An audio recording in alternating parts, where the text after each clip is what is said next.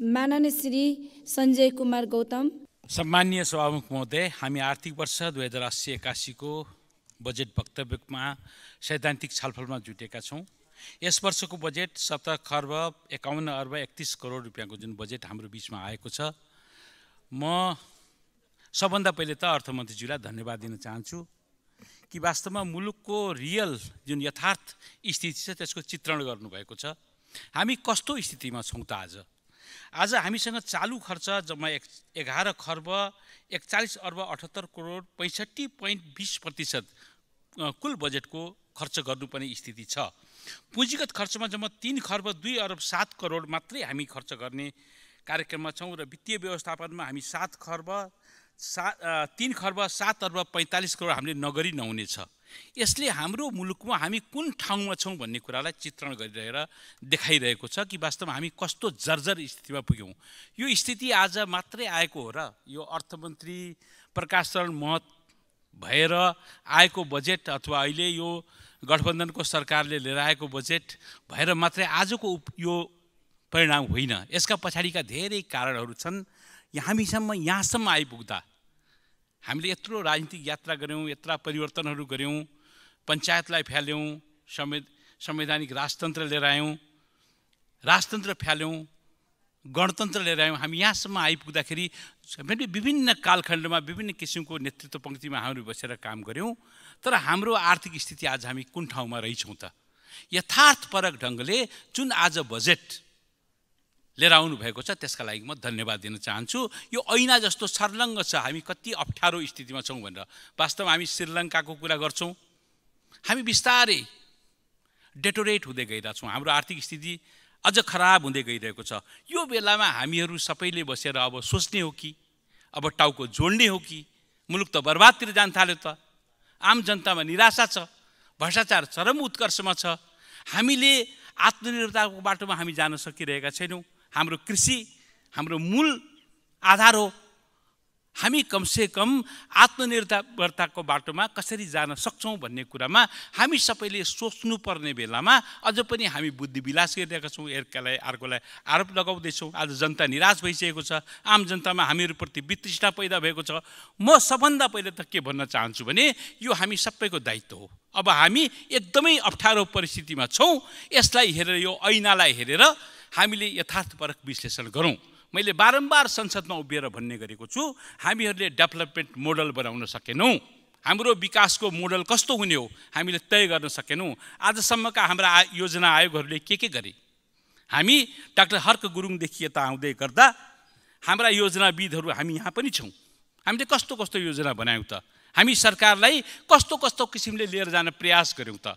हामीहरू कहीँ न कहीँ गलत छौँ हामीहरू असफल भइरहेको छौँ र मेरो यो यसको सैद्धान्तिक पक्षमा कुरा गर्दै गर्दा मेरो आज पनि एउटै मात्रै भनाइ के छ भने कृषि क्षेत्रलाई हामीले दिनुपर्ने महत्त्व अहिले पनि दिइरहेका छैनौँ। अहिले पनि हामीहरू त्यसलाई हल्का ढङ्गले कुरा गरिरहेका छौँ। हामीहरू बडा क्रान्तिकारी कुरा गरिरहेका छौँ।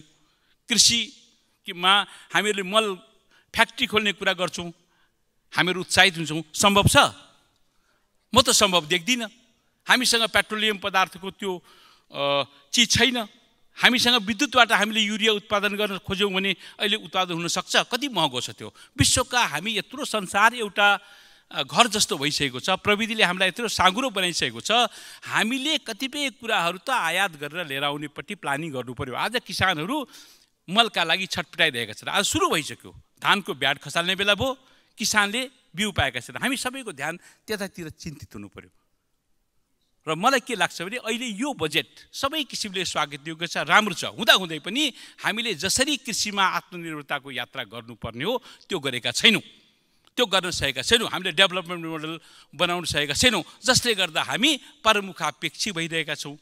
हामी गलत बाटोतिर गलत गन्तव्यतिर हामीहरू गइरहेका छौँ। आज हामीहरूले लिएर आएको बजेटमा दुई अरब त हामीसँग वैदेशिक ऋण लिनुपर्ने स्थिति छ। दुई अरब चाहन्छौँ त हामीसँग आन्तरिक ऋण असुल गर्नुपर्ने अवस्था छ। वैदेशिक अनुदानको हामीले अपेक्षा गरेका छौँ त्यो हामीले अपेक्षा गरेका पाँच अरब चाहन्छौँ डेफिसिट बजेटमा पनि हाम्रो परिस्थिति यस्तो छ। भन्नुको मतलब हाम्रो आम्दानी र हाम्रो चालु खर्चमा त्यति पनि हामी ठेक्नलाई हामीलाई दौ दौ परिरहेको छ। विकासको हामी कसरी कल्पना गर्न सक्छौँ? यति बेला हामी समृद्धिको यात्रामा कसरी जाने? यो कुनै एउटा व्यक्ति अथवा एउटा मान्छेको मात्रै दायित्व होइन हामी सबैको दायित्व हो। यसमा हामीहरू जानेपट्टि हामीले सोच्नुपर्छ भन्ने जस्तो मलाई लाग्दछ। त्यही भएर मैले बारम्बार यो कुरालाई उठाउने गरेको छु कि हामीले विकास आयोजनाहरूको प्राथमिकीकरण गर्दै गर्दा त्यसमा हाम्रो ध्यान पुगेको छैन। मैले कृषिमै भन्छु म बर्दियाको मान्छे म भर्खरै भत्तेको पुलको तल आठ दिनसम्म आवरण अनसन बसेर आएँ। रहरले बसिनँ। म मेरो एउटा कुरा रिफ्लेक्ट गर्नलाई बसेँ। आज भविष्य आयोजनाको कुरा छ। आज हामी भेरी डाइभर्सनको कुरा गरेर अर्बौँ रुपियाँ व्यय गरेका छौँ। दुई वर्षको बिचमा पावर स्टेसन बनिसकेपछि त्यो साठी क्युमेक्स पानी बबेमा थपिन्छ। तर त्यो सुरुङ बनायौँ पावर स्टेसन बनाएनौँ पानी छेकेर राखेका छौँ। अब त्यो बबैबाट त्यो भेरीबाट आउने पानी बबैमा खस्दाखेरिको त्यसको व्यवस्थापन कहिले गर्ने? मैले मेरो जिल्ला मेरो निर्वाचन क्षेत्र भएर कराएको होइन। मैले त्यसलाई जोडेर हेरेको मेरो भनाइ के भने त्यसको प्रयोग गर्न सक्नु पऱ्यो नि त। आज दुई वर्षदेखि टनल बनेर क्लोज गरेर राखेको छौँ बन्द गरेर राखेको छौँ। त्यो पानी सदुपयोग गर्न सकाए हुन्थ्यो नि त। आज तिस वर्षदेखि राष्ट्रिय गौरवको योजना बनाउने कुरा गरेका छौँ ठुलो कुरा गर्छौँ। त्यसलाई व्यवस्थापनमा हामी गम्भीर छौँ कि छैनौँ? हामी गम्भीर छैनौँ। मैले यो राज्यको ध्यान त्यता अङ्कित गराउन खोजेको एउटा सांसदका रूपमा मैले भनेर म भत्किएको पुलको तल बसेँ। मैले डेभलपमेन्ट मोडल भन्न खोजेको हुँ। रणनीतिक महत्त्वका यस्ता चिजहरू छन् जसमा हामीले ध्यान दिनै पर्छ। मैले किसानको बिउ मल र बजारीकरणको कुरा गरेँ। हाम्रो ध्यान त्यहाँ पुगेन मित्रहरू साथीहरू मान्यज्यूहरू। हाम्रो त्यहाँ ध्यान पुगेको छैन। हामी कहीँ न कहीँ गलत छौँ। विभिन्न कालखण्डको हामीले नेतृत्व गरेका छौँ। नयाँ साथीहरूलाई अहिले अवसर पाउनुभएको छ। उहाँहरू पनि आउनुभएको छ। तर उहाँहरूमा पनि त सत्ता मोह देखिन्छ नि। सत्ता प्राप्ति गर्नु मन्त्री र उप प्रधानमन्त्री हुनु मात्रै ठुलो कुरा हो जस्तो मलाई लाग्दैन। आज काङ्ग्रेस एमाले र माओवादीप्रति भएको वितृष्णा भोलि तपाईँहरूतिर पनि तेर्सिन्छ। जनता खुसी छैनन्। हामीले राम्रोसँग यात्रा गर्न सकेका छैनौँ। त्यही कारण म सबैलाई के भन्न चाहन्छु भने हामीले यसमा सोचौँ र पर्यटनलाई हामीले पर्यटन उद्योगलाई हामीले केन्द्रीकृत गरौँ। हामीले बनाउनु पर्ने केही छैन। पहाड बनाउनु पर्दैन मन्दिर बनाउनु पर्दैन यहाँको सौन्दर्य बनाउनु पर्दैन प्रकृतिले हामीलाई दिएको छ। हामीले कनेक्टिभिटीलाई ध्यान दिउँ पर्यटन क्षेत्रको। मैले बारम्बार भनेको छु होटलहरू प्राइभेट सेक्टरले आफै बनाउँछ व्यवस्थापन आफै गर्छ। हामीले गर्ने ठाउँमा गरिरहेका छैनौँ नगर्ने ठाउँमा गरिरहेका छौँ। हामीले पक्की सडक हाम्रो गाउँघरमा बनाउन खोजेका छौँ ग्राभलले पुग्ने ठाउँ छ। हामीसँग त्यो भिटामिन र केमिन त्यो पक्की बाटो बनाउने कालोपत्र गर्ने हामीसँग उत्पादन छैन। हामीसँग हामीसँग भएको स्रोतलाई हामीले प्रयोग गर्न खोजिरहेका छैनौँ। बाटो बनाऊ कस्तो बनाउने तय गरौँ। डेभलपमेन्ट मोडल बनाऊ। हामीले भ्रष्टाचार रोक्नेपट्टि जाउँ हामीले मुलुकलाई समृद्धिको यात्रामा जाने कमिटमेन्ट गरौँ। कृषिलाई आधार बनाऊ पर्यटनलाई आधार बनाऊ ऊर्जालाई आधार बनाएर हाम्रो सम्पूर्ण ध्यान त्यहाँ केन्द्रित गरौँ। सबै मिलेर टाउको जोडौँ। सबै मिलेर टाउको जोडौँ र मुलुकलाई समुन्नतिको यात्रामा लैजाउँ धन्यवाद। सत्य तथ्य निष्पक्ष अनि खोजमूलक समाचारको साथमा एभरेस्ट न्युज